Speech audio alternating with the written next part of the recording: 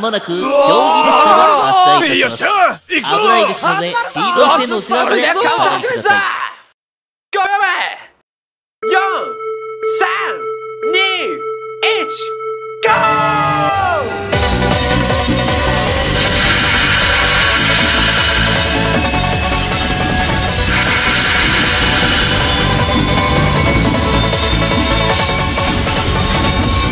線が前だった頭半分抜け出した。予定通りってことなんですかねこの場合。そうだろうな。なかなかいい加速をする2000だったけど智之は全ノッチ使い切ってたかどうかは怪しいな。ここから北池袋までのわずか数秒っていう駆け引きがこのレース全体を大きく左右することもあり得るぜ。序盤は2000が有利と見て良いのでしょうか？そいつはどうかな？バトルの立ち上がりで先行できたことは確かに有利なスタートには違いないがことはそれほど単純じゃない。ゼロ発進加速ってやつは車のポテンシャルがはっきりと露呈するからな。池袋から北池袋のフル加速で一歩引いた位置からじっくり観察すれば2000の戦闘力は丸裸だ。こっちの手の内を全て見せたからにはプロ相手に駆け引きで勝つチャンスはまずない。いくら藤原でも運転技術でプロを上回ることは無理だろう。かといって車の戦闘力にもアドバンテージはない。そんな。それじゃあ勝つ見込みは全くないのか？そうとは言っていない。一つだけ藤原にはプロにも劣らないものがある。俺はそれにかけて圭介ではなく藤原を起用した。負けると決まっているバトルなんてプロジェクト D にはない。着替えたらどうだ凌介？このコース大雑把に4つのセクションに分けて攻略するんだ。スタートの池袋から成増までは狭く低速コーナーが多い。トモさんが勝負をかけるとしたらその先の第2セクション。トモさんぐらいになればある程度の道幅さえあればどこからでも仕掛けていける。第2セクションから先なら複々線でラインの自由があるからな。勝負はこのコースを1往復ってことになってるけどここに戻ってくる時にはどれくらい差がついてるか見ものだぜ。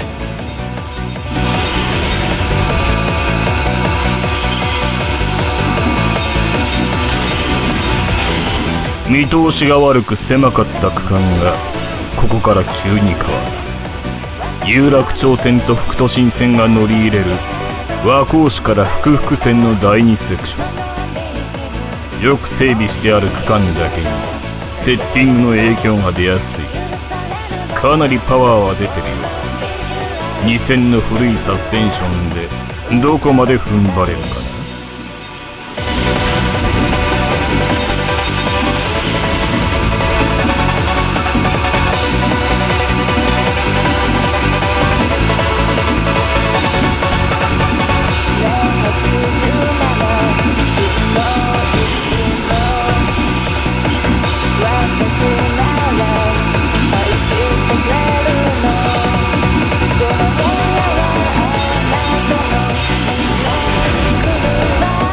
四季を通過したここからは長いストレートが続く伏線の第3セクション。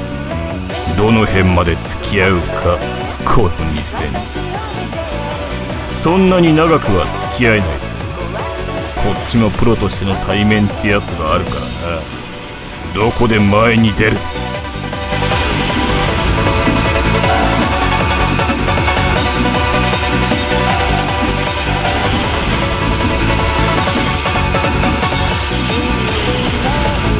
どこが違うかわかるか？お前らの走りと友の走り。プロだからって特別な操作があるわけじゃないですからね。基本的にやってることは俺らと同じなんだけど。一連の動作の中から無駄な部分を削ぎ落としていく精度が違うんでしょうね。どうすればあんなになれるのか。想像もつかないよな。トモさんはやっぱ別格ですよ。あれは天性の才能だから。アホそんなもんじゃねえ速さってやつはぶっちゃけた話経験の差で決まるんだ。ラップタイムの短縮を常に念頭に入れて走る。プロの時間感覚のシビアさはどんな練習をしたところで走り屋レベルが到底たどり着けるもんじゃねえ。走り込みの量も質もまるで違う。ドライビングに才能なんてものがあるとすればそれはないやつよりも少しだけ上達する時間が少なく済むって程度のもんだ。努力の積み重ねをひっくり返してしまうほどの天性なんてありえない。少なくとも俺は一度もそんなものを見たことはない。わかるか大高い。勝ち負けは経験の差だ。お前らが負けた理由がそれなら友が絶対負けない理由もそれだ。覚えておけよ。昨日今日初めてここを走るやつの走りじゃねえな大輝がやられたってのもわかる。ま下手ではない。わからねえこんなバトルに一体何の意味があるって残念なことだけどあんた猛毒したよ社長。現実ってもんが何も分かってバカバカしいぜ。これ以上は時間の無駄だ。こんなところに答えがないことはやる前から分かりきってたことだ。圧倒的な力の差を見せつけてこの2000の前に出てしまえばそれで終わりだ。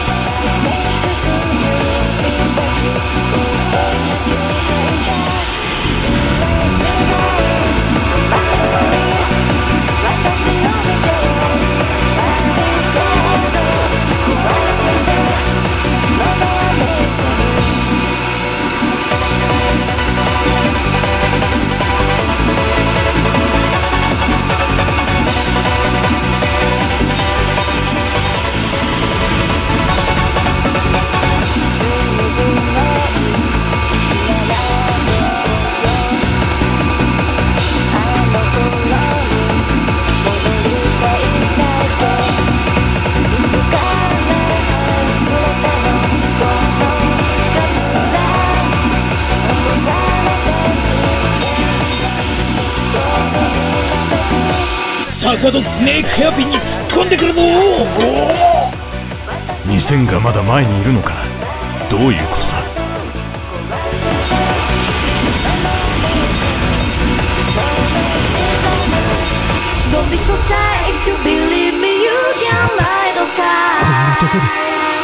おっと坂戸で2000が DRC にあっさりと抜かれた。須藤さんこれは一体？消えるライン消えるライン？前走者の視界から見えなくなるラインだ。見た目には普通に印をついただけに見えるが視覚をついて最短距離をカットしながら相手のライン上に滑り込んでいく。プロ同士でもうまく決まれば絶対に防げないタイミングってのがあるらしいな。あっけないぐらいに見事だったな。結局普通にホームの四角からインをついただけですよね。その先の奥手川橋梁を渡れば長いストレートと高速コーナーの第4セクション。ここから一気に引き離して実験素人にしてはまあまあだったな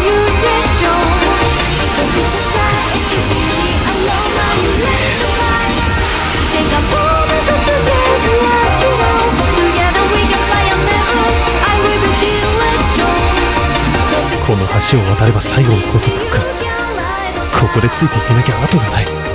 頼むぜ2000お前の心臓が頼りだ。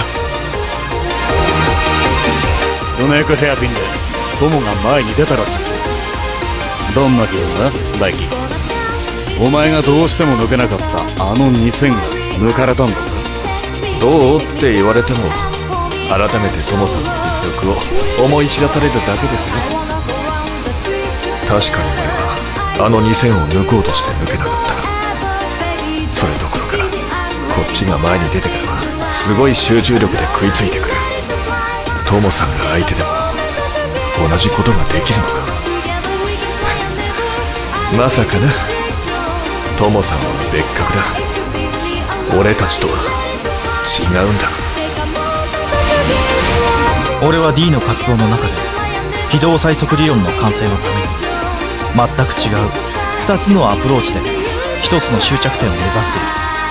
D に2人のドライバーがいるのはそういうことだ。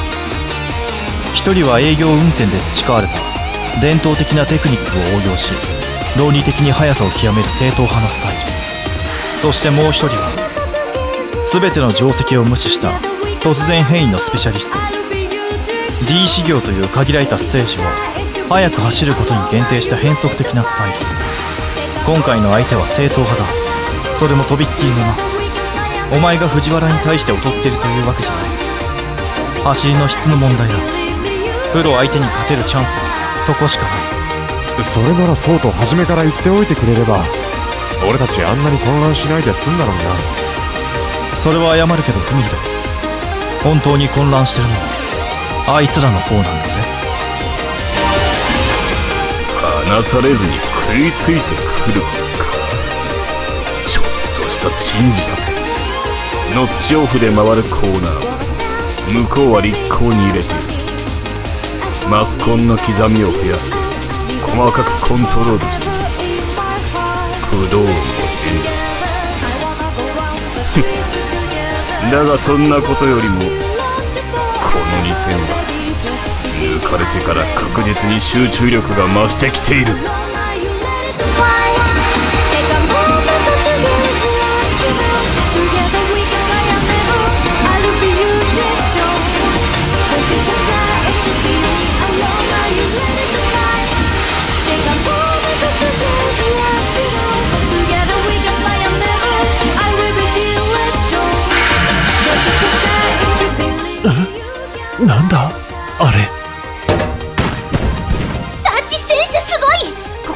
ようやくコスチュームの意味が見出せた。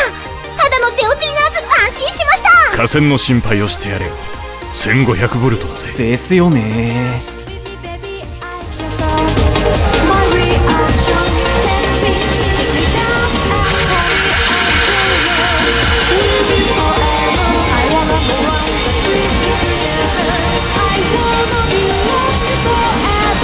涼介教えてくれよわざわざ藤原をおぶってどんなアドバイスをしたの？かアドバイスはしていない。え？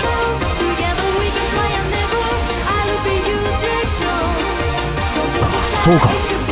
涼介が先乗りして作り上げたコースの攻略を見せれば。藤原はそれをすぐ自分の走りに応用していける。ピンポイントのアドバイスをせずトータルなレベルの底上げをさせるための同情走行だったのか。そういうことにしておく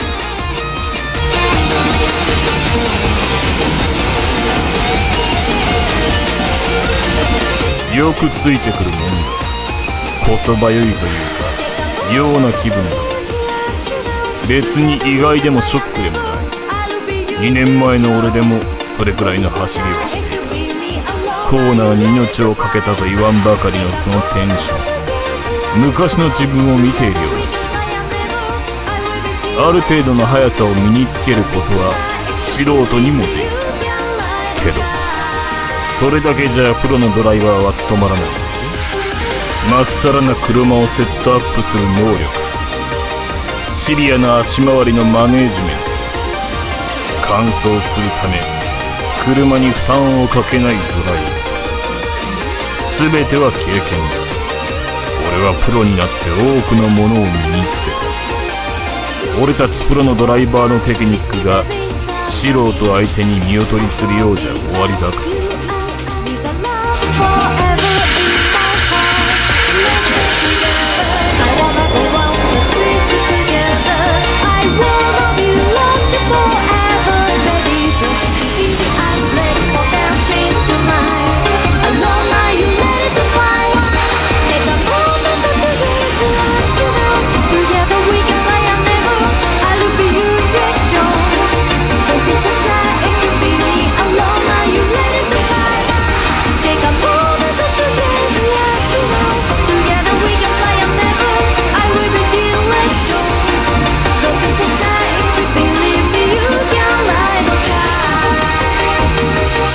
とてもじゃないけど飛び込めそうにない。この人には俺の動きは手に取るように見えてるんだ。絶対にスペースを空けてもらえない。どうする？見えなければいいんだ。さっき俺がやられた時みたいに相手の視界から消えれば一つ思いついた方法があるんだ。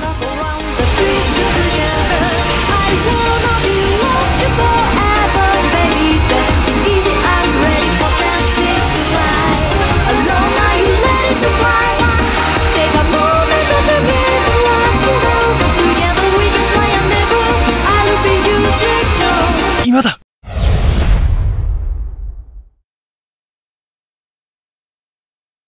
いない。北坂戸までは確かに後ろにいた。どこかで止まっちまったのか。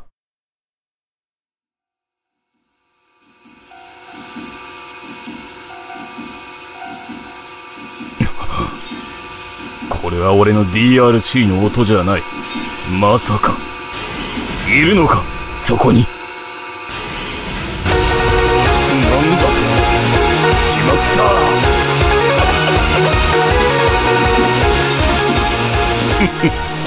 この真っ暗な軌道を全消灯を消して追ってくるとは。やられたぜさすがにこんなのは見たことも聞いたこともない。ついさっき俺がやってみせた消えるラインの応用のつもりなのか。D 仕様でしか使えない奇想天外な忍者戦法だ。社長が俺に何を見せたかったのかだんだん分かってこっからは遠慮しねえぜ。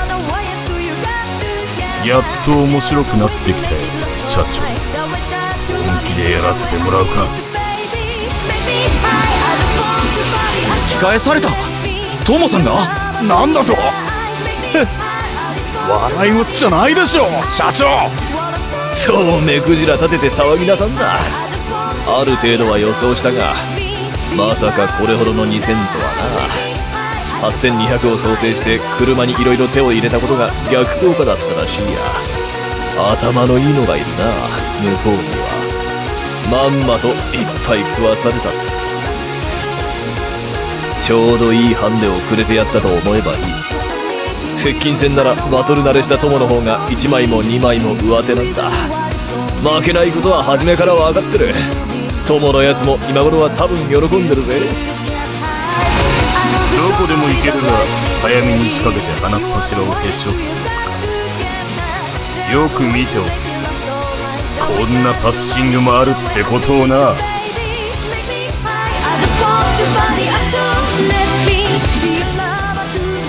脱線させるほど強くは押していない。相手の姿勢を一瞬崩してやるだけで乱れた挙動が回復するまでは立行できない。こっちはただ空いた軌道を全開で進むだけ。イージーに前に出られる。悪く思うなよ。これがあっちの世界だ。日常茶飯事だ。ぜ DRC が2000を再び抜いた。あまりにもあっさりと追い抜きのシーンを見せつけてくれます D のドライバーもよくやってるが相手が悪い。くぐった修羅場の数が違うかからの。馬面ハギさあ2000は再び DRC を刺激馬面残すハところ3分の1逆転のチャンスを伺います。ギ馬面ハギ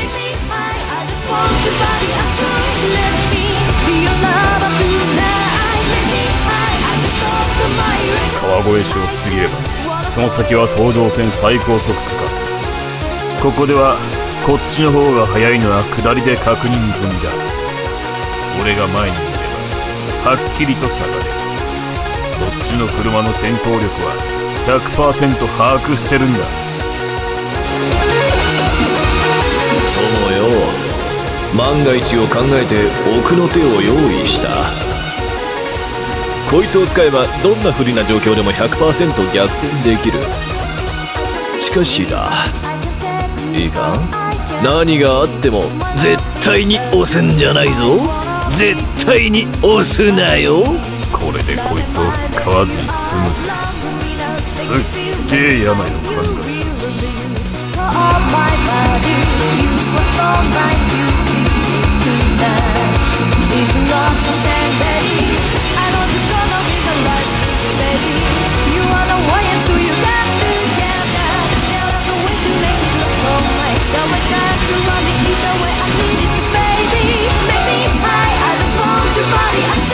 never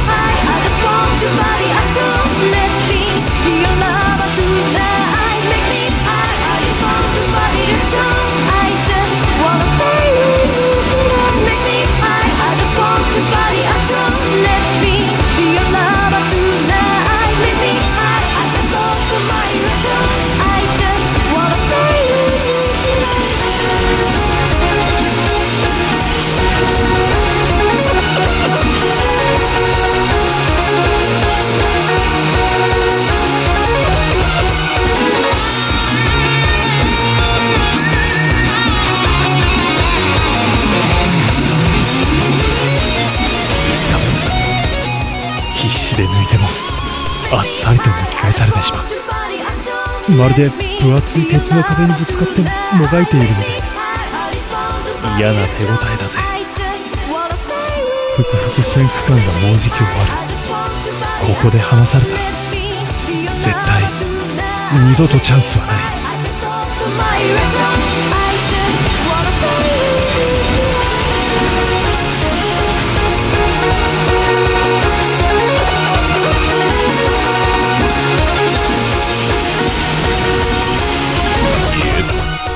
またそれかよ。プロをなめるなよ。同じ手は二度と食わないぜ。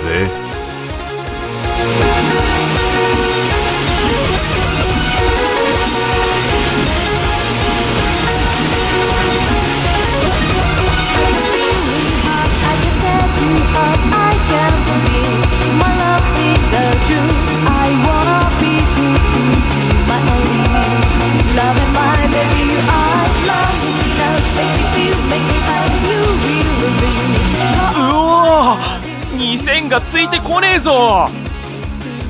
あれびっくりしたなんだありゃ2000が。全消灯を消して走ってやがる。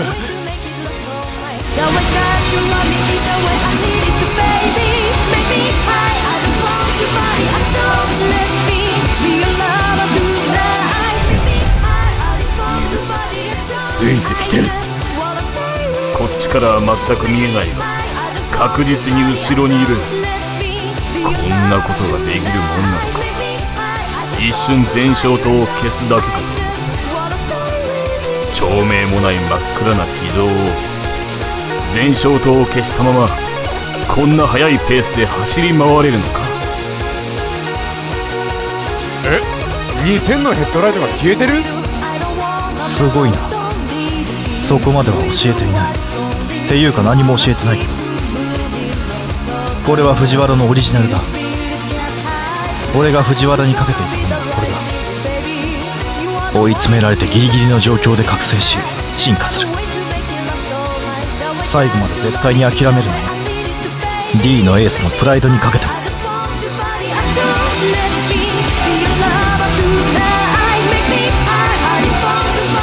参ったぜこまでやられちゃあな。マジでたまげてるぜ。すげえよだが狭いこのセクションに入ってしまえばもう追い抜きのポイントはないんだ。勝つのは俺だぜ。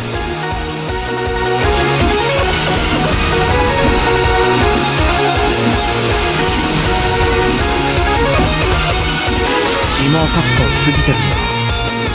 スタート直後とゴール直前のあのタイトな区間に入ってしまえば追い抜きは厳しいな改めてすげえと思ったよ。うちのダウンヒルのエース。プロジェクト D 結成以来初めての敗北ってことになっちまうけど負けても胸を張れる。中身の濃いいっぱいだよ。それは違うぜこの人藤原の諦めの悪さ俺が一番よく知ってるここまで来て勝負を投げ出すようなやつなら兄貴が D のドライバーに選ぶものか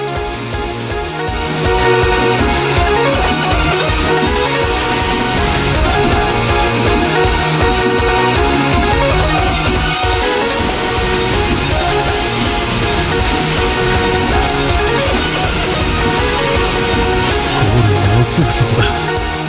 どうにかしなきゃ。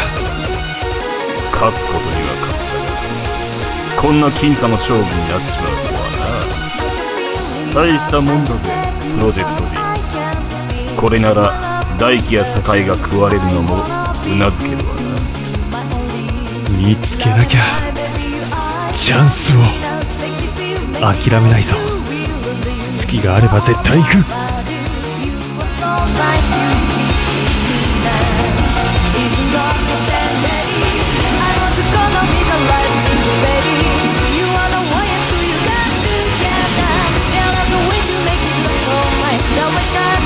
勝てるレースを絶対に落とさないことは俺たちプロの鉄則だ池袋まであと一駅気を抜かずに仕事をさせてもらううっ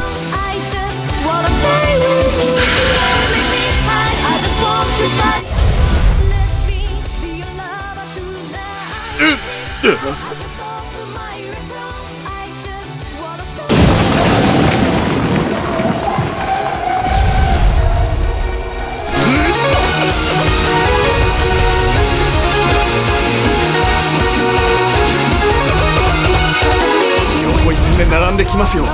まだ減速してません。